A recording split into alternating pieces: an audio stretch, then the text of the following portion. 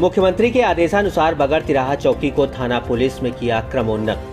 क्रमोन्नत थाने का उद्घाटन रामगढ़ क्षेत्रीय विधायक पति मेवात विकास बोर्ड के अध्यक्ष जुबेर खान ने फीता काटकर उद्घाटन किया। मौके पर अलवर जिला पुलिस अधीक्षक Tejaswini Gautam, additional SP Sarita Singh, Ramgarh CO Kamal Ram Meena, Malakhera SDM Anurag Harit Udyog Nagar थाना अधिकारी बनवारी लाल मीणा व जनप्रतिनिधि मौजूद रहे।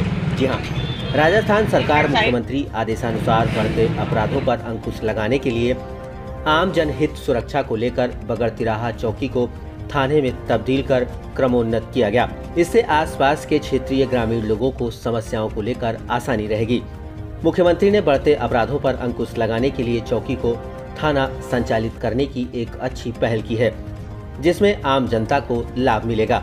उद्घाटन के दौरान अलवर जिला पुलिस अधीक्षक Tejasvi Gautam additional SP Sarita Singh, Ramgarh CO Kamal Ram Meena, Malakhera SDM Anurag Harit Udyog Nagar थाना अधिकारी पनवारी लाल मीणा व क्षेत्रीय सरपंच प्रतिनिधि मौजूद रहे। माननीय मुख्यमंत्री महोदय के अनुसार यहाँ पर बगड़ तिराया चौकी को क्रमोन्नत करके थाने के रूप में संचालित करने के लिए नोटिफिकेशन आया था।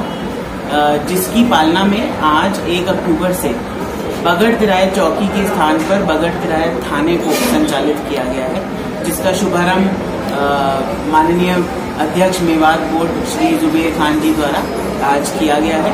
और, हमें उम्मीद है कि इससे आसपास की जनता को, रामगढ़ क्षेत्र की जनता को सुविधा मिलेगी अच्छा रिस्पांस टाइम पुलिस दे पाएगी, और बढ़ते अपराधों पर भी अंकुश लग पाएगा।